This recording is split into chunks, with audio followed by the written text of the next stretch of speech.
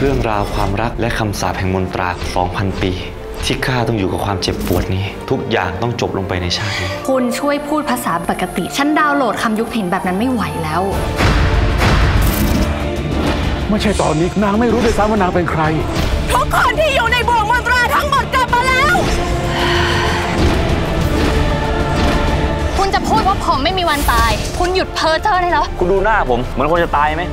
การดูแลพราวมันเป็นหน้าที่ของพิมพ์อยู่แล้ว คุณด่าอย่างกับคุณพิมพ์ไม่ใช่น้องสาวคุณน่ะถ้าความแค้นเปลี่ยนใจนางไม่ได้ ท่านก็ต้องเปลี่ยนนางด้วยความรัก ข้าไม่มีทางตกหลุมรักมัทิลาอีกรอบเป็นแน่เท่าไรเธอ